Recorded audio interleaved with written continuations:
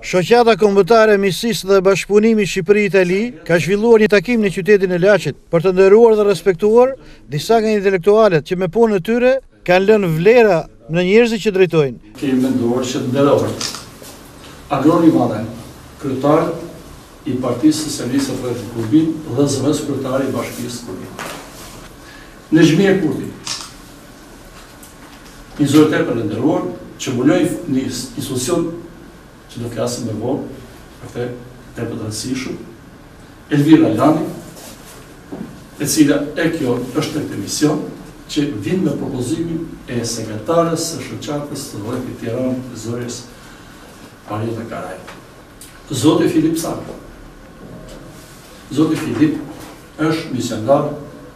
Mbarë kombëtar i pajtimit gjaqet e konfliktet e mosmarrëveshjet i kanë me njerëzit, me qendër në Krujë e Fushë-Krujë.